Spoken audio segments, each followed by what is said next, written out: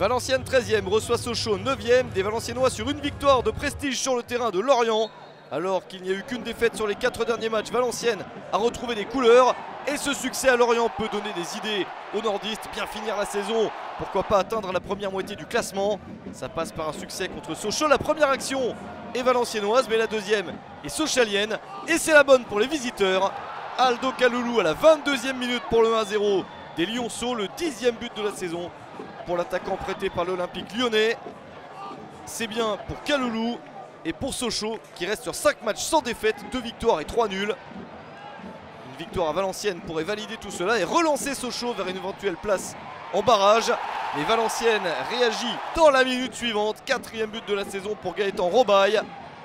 Un contre favorable, la volée du gauche, un joli but et un but partout entre les deux équipes. Valenciennes qui continue avec cette reprise de la tête, la belle parade du gardien socialien, un but partout à la mi-temps. En seconde période, ça continue à être toujours très enlevé, très disputé, une partie agréable. Le deuxième but pour Sochaux grâce à Jean Fuchs à la 49e minute.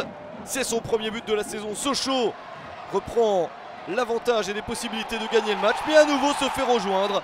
86e minute.